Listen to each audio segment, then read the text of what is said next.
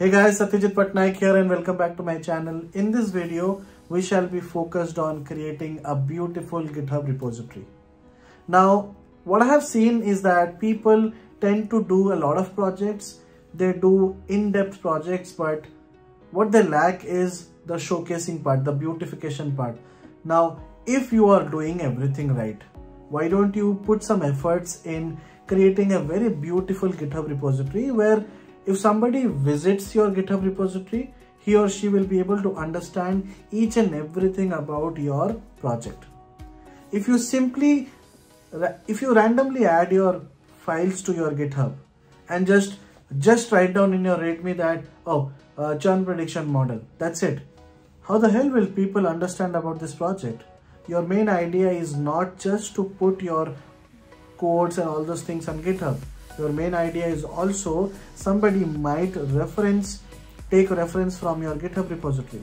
So make sure your github repository itself is attractive. People who are visiting your page should be able to understand about the project. And this is where many people lack. So in this video we shall be talking about how to create a beautiful github repository. And this video is all about uh, my suggestions which is which I have learned so far and it doesn't mean that these are the best steps but these are just the best steps as per me. So let's get started.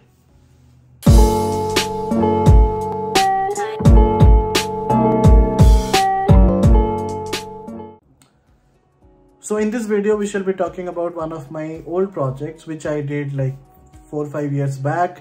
And it's related to customer churn prediction and I usually take this example because I'm very close to this use case and I feel I can understand I can explain it in a very good way and I am pretty much sure that you will be able to relate what I'm talking about and you can apply the same for your specific projects. So you can see this repository where I have already created a repository which is called as machine learning project churn prediction. Now of course the first thing is to the first thing is to upload all your files. Now you can see I have uploaded everything here. Now what we did in this project was everything. We had the data which we took it from Kaggle for sure. And then we did EDA which is exploratory data analysis. Analysis. Then we also did the model building part right? And after model building part we also converted our models to flask application. Flask app. So i did all these things in this project. So this is kind of an end-to-end -end project that we did. And this is very much applicable to a data scientist. Right? So first thing is that try to upload all your files in a very structured manner. Here you can see when somebody visits this and this is one of my you know one of my best github repositories that i have ever created. You can see 30 stars and 39 forks right? So you can see the, the the structure is quite simple. Everybody can understand. If somebody is visiting this page he or she will be able to understand oh this is the eda part this is the model building part right? Now we'll we'll move on to the readme part which is the most important part.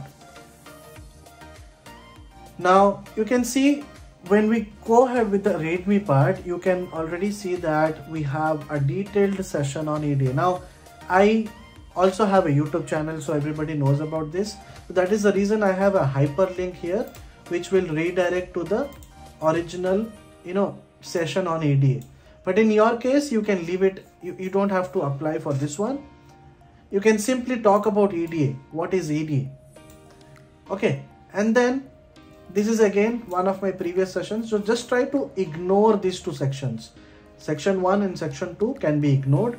Your github should start from here. What is customer churning? Now here i'm explaining about customer churning. I'm explaining about the problem statement. I'm explaining about the business problem statement. What exactly is the problem? Why people are churning?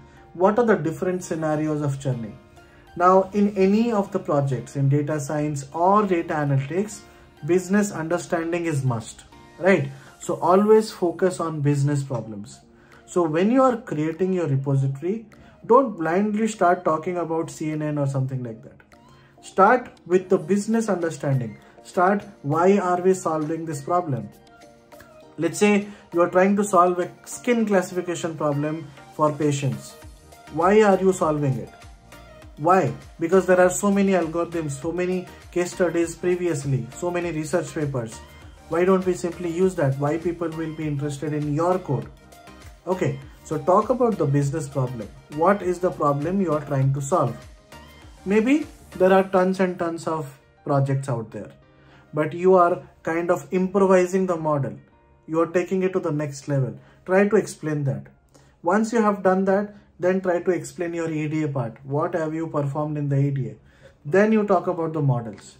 Now you can see here I have talked about what is customer churning. So I had created a separate presentation for customer churning. So I have just given some of the screenshots of it. Okay. Customer churning. Operators are losing share in today's competitive market. It talks about the problem statement once people goes through this one they will be able to understand oh this is what customer churning is. What are the different scenarios of customer churn? When a couple of days back one of my student told that machine learning codes machine learning algorithms are so easy machine learning use cases are so easy. When it comes to customer churning i know that many people write customer churn and all these things in their resumes which is good but I'm pretty much sure 99% of them might not be aware of the various scenarios of customer churn. They just know that customer is active or left. That's it. They don't know if customer has left, in which category the customer is falling, which type of reason is the actual reason behind the customer getting churned or what type of churn is it? Is it is the customer leaving from Vodafone to uh, Vodafone to Airtel or moving from postpaid to prepaid or moving from a high usage to a low usage. So there are different types of churn. Then comes decision cycle of a subscriber. Now all these things are based on your business understanding. Now if your question is how do we create all these things? Well, if you are able to work on the use cases, you should also spend time in researching about the project, researching about the business problem. Create a presentation, out of it. Try to read multiple research papers and then only you will be able to understand what exactly the problem statement is, right? And different churn segments. So after this, I have also explained the solution. What is the proposed solution? And then I have mentioned for EDA, refer to this file. For model building, refer to this file. For model deployment, refer to this file. So you can imagine, right? If somebody is visiting my GitHub repository, he is getting all the information here. Customer retention, then this, different types of churning, and then this, then this, and then everything is mentioned here. To create a Flask API, I have also provided the code, end-to-end -end code of how things work. This is the load page this is the code. What does this do? And everything is there. And then I have also given a screenshot of how the front end looks like. Of course the front end is ugly so just ignore that for the time being. But this is how it is. And this is how you create your github repository. To be very honest people put a lot of focus on the model building part and on the model enhancement parts and all those things well that's pretty much sure that you have to put more efforts on that part because it gives you more technical understanding. But try to use at least 1% of your project should be dedicated in creating a good github profile creating a good github repository. I will leave this link in the description below so that you can go through it. I'll also have some other repositories of mine where you will see a detailed understanding of what's happening and these kind of things will help you to create beautiful readme files. And this is not all of it. There could be better ones as well. You can explore some better github readme files as well. This is just as per my limited knowledge. And uh, that's all about this particular video. In case you have any questions any suggestions anything write down in the comment section below. And I'll try to reply you back or create a video on top of it. Please like, share and subscribe the channel and thank you. See you again.